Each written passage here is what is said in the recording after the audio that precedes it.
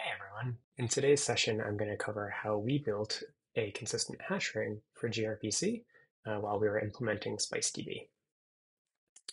Um, before we jump into that, I'm just going to give a little bit of background on who I am um, and where I've been, what I've done, um, just to build some credibility.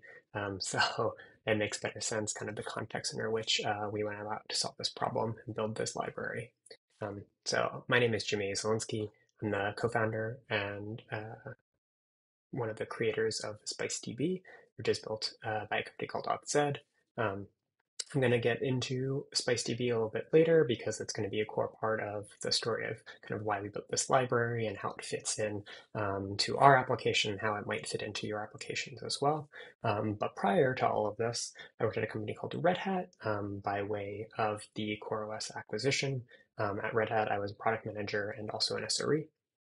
Um, and then uh, I built basically uh, the largest service that was running at Red Hat um, while I was at CoreOS. You might know uh, that ecosystem. It's called Quay.io. Um, and uh, effectively, uh, I've worked as a software engineer um, and a product manager, always carrying a pager, always kind of working on distributed systems. In the ecosystem, uh, the greater open source community, um, I'm an OCI maintainer, so that is the standards body for containers, um, if you're unfamiliar. And then I've also created a couple of the kind of CNCF landscape projects. Um, notably, uh, Operator Framework is one of the ones that we started at CoreOS and got inherited by Red Hat and eventually incubated by CNCF.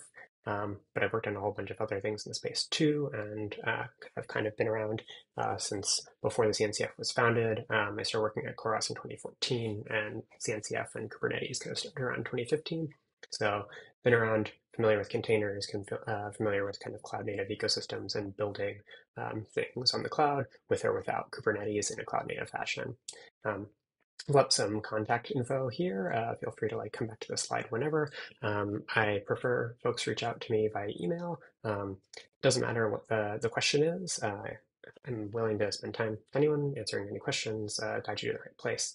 Um, email is the best way if you want to reach me for that. Um, it's asynchronous, but you can also find me on GitHub or Twitter. Um, but then also, if you want to actually like ping me synchronously and have a, a real-time conversation, you can also find me in the SpiceDB Discord uh, under the username Zelinskie. Speaking of SpiceDB, um, what exactly is SpiceDB? It's going to be critical to kind of understand uh, the rest of this talk. Um, SpiceDB is actually a framework for kind of building secure modern authorization systems. Um, so fundamentally, folks, they get product requirements in their application, usually when they get um, their first big enterprise customer, and that functionality uh, usually is dictating um, some kind of hierarchy around permissions uh, and access to data stored within the system. So they might require that, for example, there's a higher level concept called like an organization, and organizations can have teams, and then uh, within a team, there might be roles, and then uh, users are assigned to roles. Um, this is kind of like a typical kind of hierarchy that you'd see. A lot of people call the system I just described RBAC, um, but there's a lot of subtle details as to how different applications um, implement RBAC in different ways and what those requirements are. And because all those things can vary greatly, um, the recommendation from security professionals is that you actually build on top of a pre-existing um, authorization tool chain um, to actually build out these systems because uh, if you build them yourselves, you're very likely to introduce security flaws um, or make changes that um, fundamentally um, limit the capabilities of your product and make it so you can't implement uh, features that uh, your customers are going to require in the future. Um, ask me how I know. I've experienced all of these pain problems, which is why we left to start our own company, uh, AuthZed to build SpiceDB. Um, so why is SpiceDB different from your homegrown system? Um, so it is actually inspired by the technology um, built at Google called Zanzibar. Um, and this is, uh, SpiceDB is the most mature open source implementation of that. Um, it's being used in production um, for a couple of years now by um, companies large and small. Um, so we've kind of tested it in the full gamut, but the real core power to it is kind of all around um, its design with regards to uh, relational uh, relationship-based access control. So ReBAC, which is not to be confused with RBAC, is actually a, a kind of lower level design where a chain of relationships defines whether or not a person has access. Um, so this actually first got started um, by Facebook. Um, they started protecting their social network using basically graphs um, uh, because Facebook's database fundamentally is a graph. It was a very natural fit.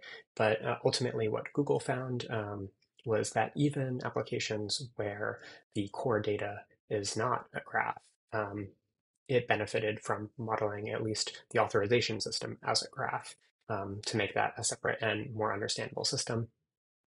And what's even uh, cooler about all this is that actually, um, because you're modeling a subset of your data as a graph, um, the the graph system actually runs as a separate system entirely. Um, so that would be SpiceDB in this case, and your applications would call then into SpiceDB and ask questions such as, um, can this user access this document? Um, that's really powerful because um, now you don't actually have any of that logic living within your applications, and any application can make those queries at any point in time in the lifecycle of handling uh, requests for, or user interactions. Um, so that means you don't have to know explicitly ahead of time um, what things need to be, what permissions need to be checked to handle a request. Instead, you can let any application check um, the requests as needed, check the permissions as needed to handle request at any point in time um, while the system is being processed in something like a uh, microservice architecture. Um, so I said earlier that SpiceDB is a permissions database. Uh, so that means that you write a schema and the schema kind of models the objects in the system and the relationships across them. And then you're going to write data into the database um, has that schema applied, and then you can query that data in an efficient way to answer these permission questions. So on the left, I've got an example schema. Um, this is basically modeling a very simple uh, system that kind of looks like Google Docs. Um, so there's going to be documents, and then there's going to be kind of roles that you can assign to each individual document. You can be a reader of a document, you can be a writer of a document, and there are permissions on that document, such as like, can you edit or can you view this document? Um, if you look at uh, the very bottom where we have the view permission, you'll see that the view permission is actually defined as um, being both the reader and the writer. Um, and you can actually then see um, on the right hand side, if someone does a permissions check, this is using Zed, which is the official command line tool for SpiceDB. Um, this lets you query SpiceDB from your command line and just check on data and um, truly understand kind of the flows through the system, um, as well as timing information um, and debugging uh, metadata.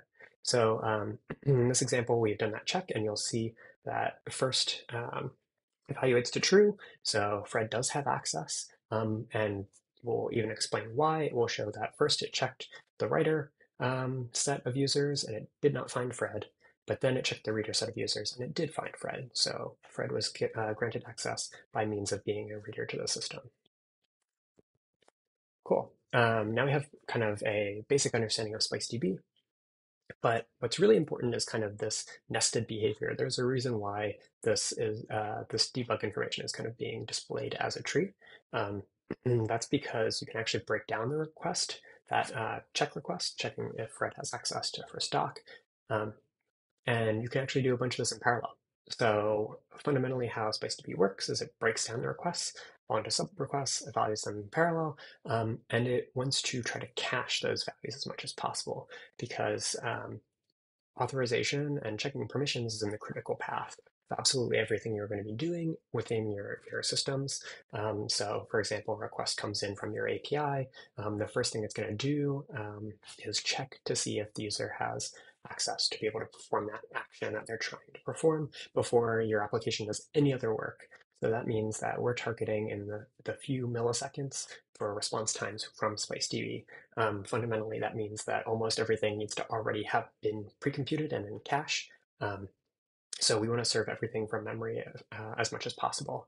Um, so uh, fundamentally, the, the solution to us getting all the stuff served that quickly is to have a sophisticated distributed caching system. So not only is SpiceDB kind of this recursive uh, parallel graph uh, engine, it also has a sophisticated distributed caching mechanism built throughout the whole system. Um, if you're familiar kind of with caching in a regular application architecture, what normally happens is you have requests flowing into the system. Um, they get randomly assigned to a server, uh, an instance, in this case, they're the circles. Um, each of those servers have their own independent cache in memory. And then uh, if the value that the application is looking for is not in that cache, it then reaches back out to storage, which is probably a database system, um, to, to actually compute that result. And then it returns that, probably inserts it into its cache. Um, this is pretty standard in web applications for caching. Often storage is, is Redis. Um, so distributed caching adds these additional arrows to that whole system, um, which is uh, kind of this bidirectionality between the caches in uh, the set of uh, applications themselves. So that means that they actually are aware of each other um, and know what values are actually in each other's cache so that they don't have to reach out to storage. They can reach out to their neighbor's cache and get that value straight from memory. Um, you might be thinking, hey, like, what's the difference between a hop to storage versus a hop to my neighbor to reach into the cache? Um, while you are paying the same network latency, querying the database um, is likely going to be more um, overhead. It's probably going to be doing way more computation. Um, and it's almost certainly not going to just read directly from memory from already pre-computed result. The more expensive the computation you need to do on the data store um, in the storage system uh, to get that result, uh, the more the cache is going to be saving you from, from that work. So it is usually worth uh, making an extra hop to your neighbor, even if um, you are making that, that network latency. All right, so now that we kind of understand the SpiceDB use case, um, it's time to dive into what a consistent hash ring is. Um, but before we answer that question, uh, we have to answer the question, what is consistent hashing? So um, consistent hashing is a concept that was kind of mostly researched in the 90s. Um, at the time, it didn't really have a name. Um, nowadays, a lot of folks are familiar with this because it's so ubiquitously used in distributed systems. The idea is that you're going to map a key um, to a finite set of nodes. Um, you're going to do that using a hashing algorithm. So if you take something like uh, three values, foo, bar, and baz, and you run them through a hash algorithm, they're going to evaluate to a number. Um, and that number is then going to map itself to uh, a set of nodes. Um, the most simple uh, hash algorithm you can use is modulus. Um, so you can say uh, like mod mod three in this case. Is, is the example being used here. And that means when you go to run foo, uh, you do mod 3, gets evaluated to 1. Every single time you run foo through that hashed algorithm, it needs to evaluate to that same value. Um, this is going to be the core between picking which nodes we're going to route um, to and which nodes should hold the value in memory in their cache. Um, this is kind of like the first stab at the research. You'll see that foo and baz are both getting uh, mapped to node number one, and then bar is getting mapped to node number three. But where this really falls over is um, in a in a uh, problem called rebalancing. And so what rebalancing uh, is meant to deal with is basically what happens when one of these nodes go missing. So uh, in this example, I made it so that node one goes missing, but also there are other events such as adding more nodes to the system um, that would incur a rebalancing um, to try to fix all these things. The, the problem here is that if we remove um, node 1 and we only have node 2 and 3, um, we're still going to get values if we do modulus 3 as our hash function that map to node 1. Foo and Baz fundamentally have to go to node 1, but node 1 is gone. So now we've uh, effectively lost this data if we're using this to store data. Um, we won't get an answer to this uh, problem until basically a algorithm called Rendezvous, um, and that was written in a paper in 1996. Uh, but I'm actually not so interested in Rendezvous so much as um, a paper published the following year in 97, um, which is where we get uh, consistent hash rings introduced. Um, and uh, while not the first solution um, to this problem, it has become the lasting solution to this problem. Um, the idea behind a consistent hash ring is actually that um, you have basically this array and the array uh, wraps around at the end. So if you uh, iterate past the last value in the array, you arrive back at the first. Um, the way that folks like to um, kind of uh, visualize arrays that work this way, um, typically call them something like a ring buffer. Um, they put them as a circle, kind of similar to a wall clock like I've, I've drawn here. And then what happens is we have uh, nodes one, two, and three mapped as effectively times on the clock. Um, but you'll notice there's a whole bunch of these other lines here. Um, and those are all the possible values um, that can get hashed to.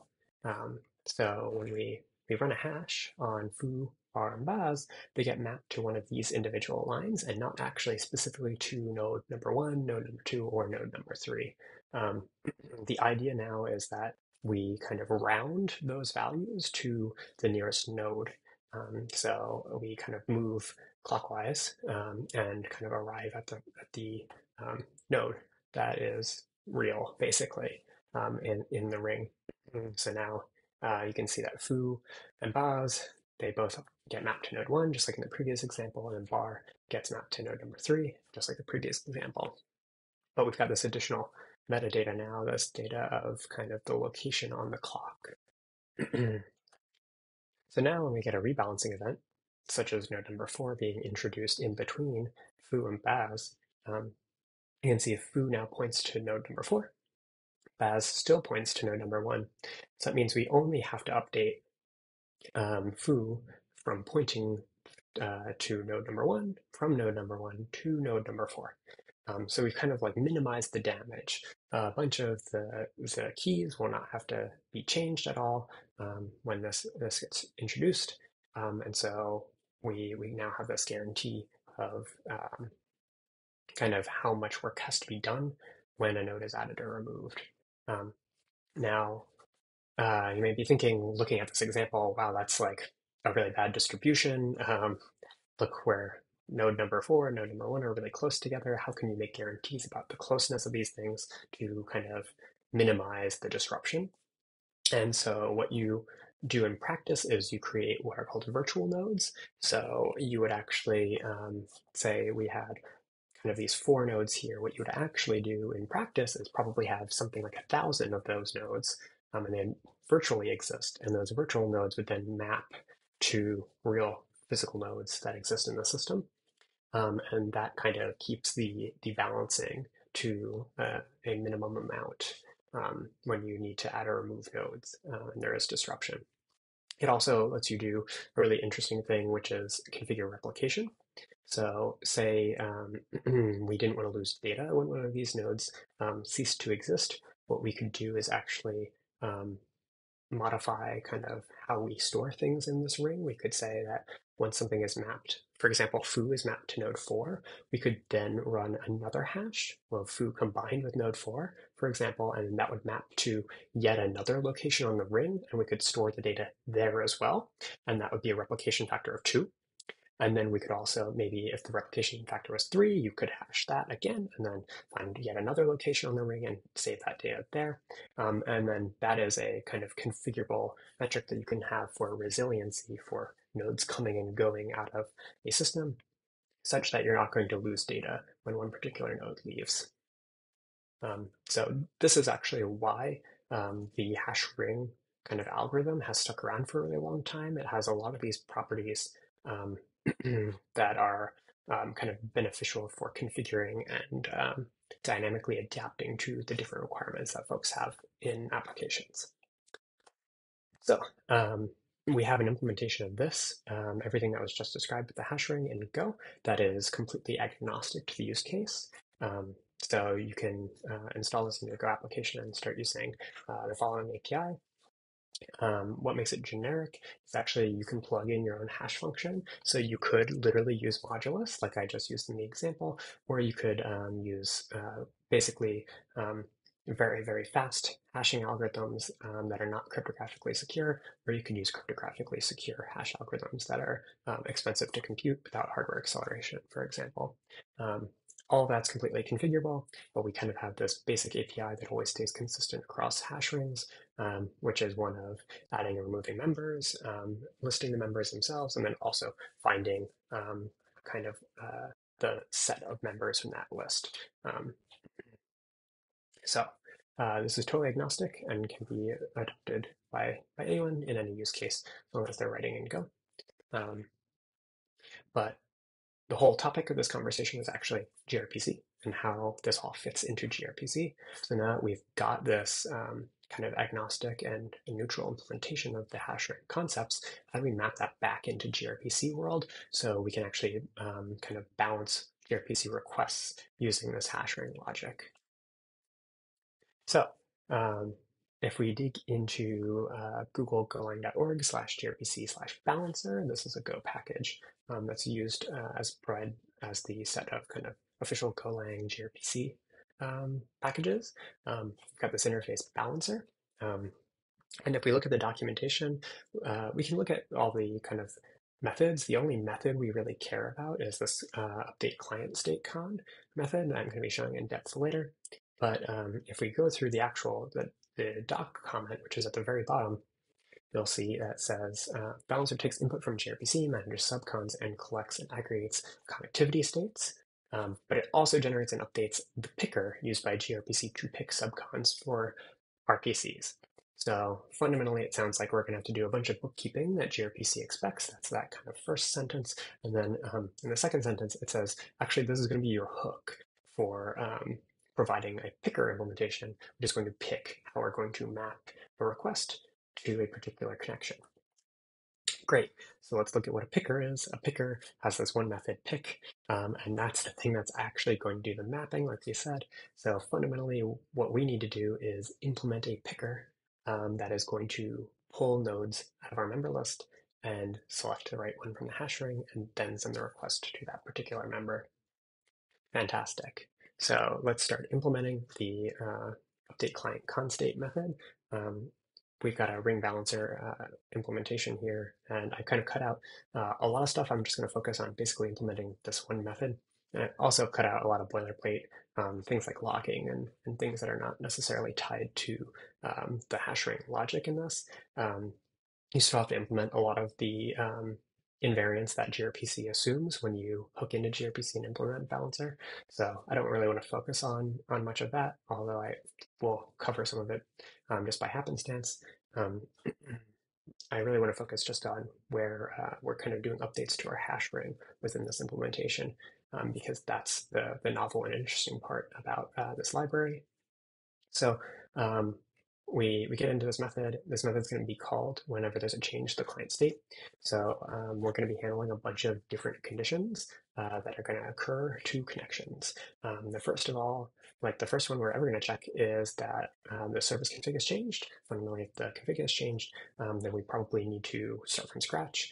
Um, so in that scenario, uh, we have us allocating a new hash ring um, because uh, we're assuming that hash ring cannot fail in this scenario. Um, we use the must new constructor there, allocate a new hash ring, and we set the config um, on our, our ring balancer.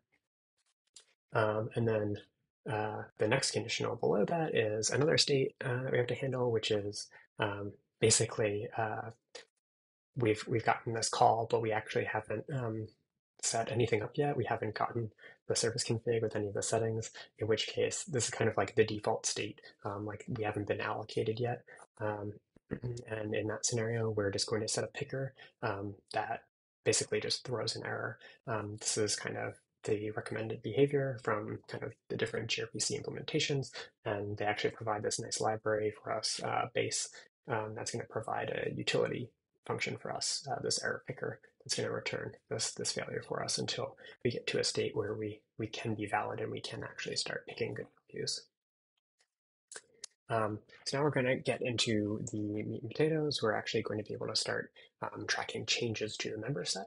Um, in this case, we're going to look for um, folks that are not yet added into our member list, so new connections.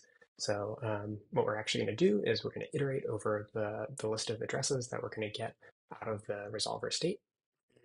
Um, that came in when we got our update. And basically, we're going to check to see if this connection exists in a set of connections that we're maintaining ourselves. Um, and if it's not there, then we're, we're going to do kind of some bookkeeping, but fundamentally at the very end, you'll look at the bottom, it has hashring.add. So we're going to make sure that we add this new connection um, that we weren't tracking before into our hash ring so we can start mapping requests to it. Um, and then uh, the next code block below that is going to be doing the opposite, which is uh, removing anything um, that shouldn't be in our hash ring anymore. So what we're going to do is iterate now over our set of connections that uh, we know uh, exist in our hash ring, and we're going to look them up in that, that same set that we just saw. And if it's not in that set, then we need to remove it from our hash ring. Um, so you'll see again at the very bottom, um, we're calling that hash ring remove. Um, there's also a bunch of internal bookkeeping just around uh, normal logic that we have to maintain just being a normal gRPC balancer. But then we get to the end of this function, and we get to call this uh, update state function that's going to do basically most of the heavy lifting for us. And that's where we get to actually pro uh, provide uh, the state that we just computed, but also um, the picker. So the picker is really, really important. As I said earlier, the picker is what is going to actually map um, a particular uh, request to one of the members of our hash ring. Um, I'm glad that it's so elegant that it fits very cleanly in this page, uh, the very small function. Fundamentally, we're kind of uh, smuggling this context key in, that is the key for the hash ring. Um, that gets provided with the request context, um, but then we use that um, to uh, find the members in our hash ring. Um, you'll see that we have this value, uh, or this variable called spread, and uh, we're using uh, spread uh, not only in the call to find n, but also a little bit lower, we have this index, um, how we're going to basically ultimately index into the member list to pick the ultimate um, connection that we're going to map over, um, that we're going to send the request over. The uh, idea here is that if you have a replication factor that is greater than one, um, that means that we can actually load balance um, basically requests across uh, those replications um, so this fundamentally means that um, we're going to pick a random node uh, of the set of replications for that have been mapped to. Um, and the um, utility here is not only just like spreading the load across those, but also if you have a failure, if one of these nodes disappears, um, you're going to actually see less disruption because you're not going to have been sending all of that traffic directly to that node. You're going to actually have been spreading that traffic a bunch, a bunch of different replications. Um, so now um, you'll minimize even more disruption if you're kind of spreading across your replication factor. Um, and so then that ultimately is our picker. Um, so that is the core logic behind um, authzed.com, or sorry, github.com slash altsaid slash consistent, our library um, for implementing all this in gRPC. Um, there is a lot more boilerplate, but this is this is the meat and potatoes. Um, fundamentally, um, that's it. Um, honestly, to add this to your code base, it takes about uh, an import of our library. It takes a registering of the, the balancer, um, and it takes setting that initial service config and and that's about it. Um, I'd like to thank everyone involved at AuthZed who helped um, build this library, um, but also the folks over at gRPC that write all the Go tooling. Um, I think that's also the Golang team and not just the gRPC team. Um, in addition, I'd like to thank the folks that developed a library called kuberesolver. kuberesolver is how we actually de um, detect and find that member list. Um, so that SpiceDB can self-cluster on Kubernetes. It doesn't need to um, have any configuration from our user. Um, it will actually just auto-detect nodes and start um, kind of clustering itself and all the dispatching and caching that comes for free. Um, if you're interested in implementing anything like that, feel free to jump into our uh, Discord, the SpiceDB Discord. This is not just for folks that are trying to solve authorization problems, but folks interested in distributed systems or um, kind of uh, building uh, orthogonal tooling in the cloud native ecosystem. Um, also, if you're interested in kind of other distributed systems topics, I've also given a previous webinar talking about database consistency and consistency in general um, that you can find with this YouTube link here. Uh, thanks for listening.